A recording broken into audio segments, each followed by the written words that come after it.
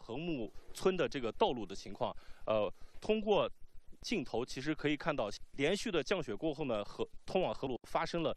大大小小上百起的这个而下，将原本就已经被积雪覆盖的这个路面呢，甚至是超过了清雪设备。呃，整个积雪的高度能达到六到七米，非常大的，而且整个雪崩带下来的，呃，整个山上的有一些，哎，现在天气在逐渐的放晴的过程，打通道路的这个和睦村运送生活必要物。今天早上这个